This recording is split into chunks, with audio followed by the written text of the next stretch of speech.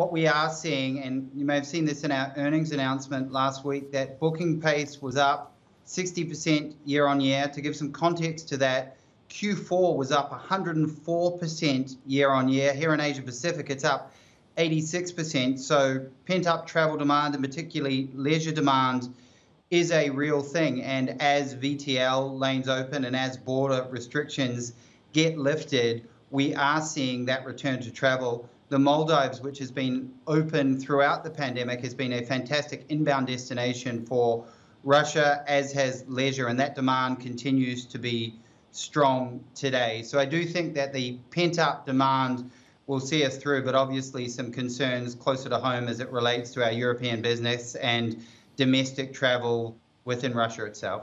And Alan, just can you give us a sense then of, uh, given the reopenings uh, globally and in our region, and the vaccinated travel lanes, quarantine-free travel, give us a sense of the pent-up uh, demand then that uh, you expect on the horizon at, at Hilton.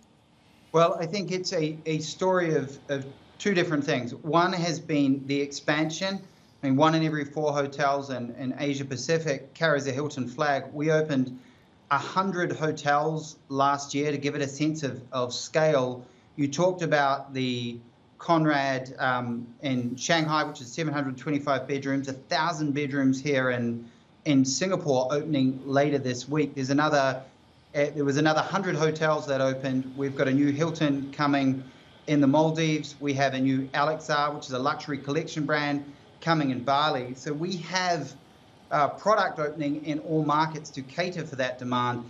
As I mentioned, everywhere it's open, we're seeing pent up leisure demand. We expect that to be complemented by business demand later in the year and a full budgeted business demand as we get into 2023.